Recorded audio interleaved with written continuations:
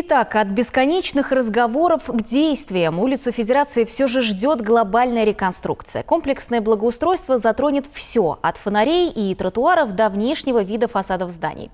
Уже сейчас администрация города обсуждает план ремонтных работ с собственниками домов на территории улицы. О том, как изменится Федерация в ближайшем будущем, узнал Максим Бажанов.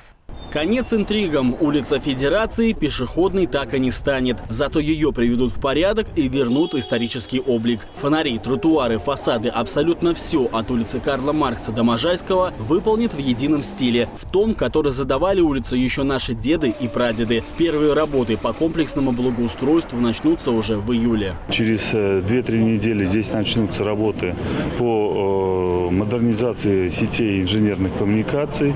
Это канализация, водоотведения, это энергетическое хозяйство, это система ливневой канализации. Вслед за этим э, будем проводить работы по э, формированию современных, комфортных, удобных э, пешеходных тротуаров, велодорожек и, соответственно, проезжей части. Будут восстановлены фрагменты булыжной мостовой. Светильники, которые здесь приняты, это те, которые были в Симбирске сто лет назад.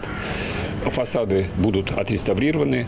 За ремонт фасадов, кстати, ответственны собственники зданий. Это в основном владельцы бизнесов. Тут радует момент, что и они, и город слушают и слышат друг друга. Концепция улицы вырабатывалась совместно. Бизнесмены не против вложить средства в косметический ремонт зданий. От этого выигрывают все. Без фундаментального подхода а, к своему, а, к своей деятельности а, не обойтись, это каждый должен понимать и сделать. При этом, при всем, город и сама федерация обретет определенный облик, который у нее есть, но сейчас он находится немножечко не в концептуальном виде. Работы по реставрации фасадов будут идти параллельно городским. и того примерно по 80 миллионов вложат в строительство как город, так и бизнес. Важный момент. На улице решится вопрос и с транспортным коллапсом. Разрешенная скорость езды будет снижена до минимума. Количество стояночных мест сократят. Их восполнит тот же бизнес. В будущем появится трехъярусный паркинг в самом центре улицы у знаменитой шашлычной.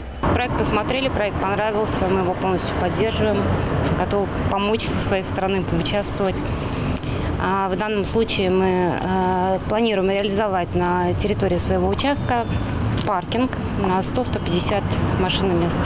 Что касается цвета фасадной части улицы, он пока неизвестен. Для этого сейчас проводят исторические исследования. В любом случае, комплексное благоустройство – это то, что ждут люди. Здесь все разваливается, много мусора, штукатурка падает, грязь одна сплошная. Ну, некрасиво на самом деле. Ну, действительно не хватает какой-то такой улицы, чтобы можно было ходить вечером, отдыхать, э, заглядывать спокойно из одного заведения в другое и не бояться, что здесь будет проезжать машина. По планам преображение улицы должны закончить к сентябрю 2023 года. Этот ремонт будет своего рода подарком жителям областной столицы ко дню города, которому в 2023 исполняется 375 лет. Максим Бажанов, Дамир Губеев, Вести, Ульяновск.